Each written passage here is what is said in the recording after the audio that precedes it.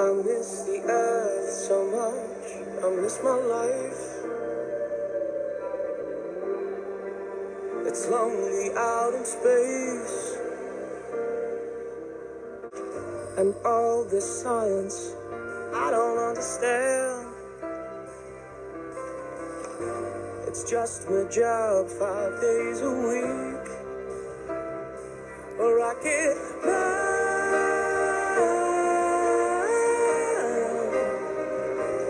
rocking now.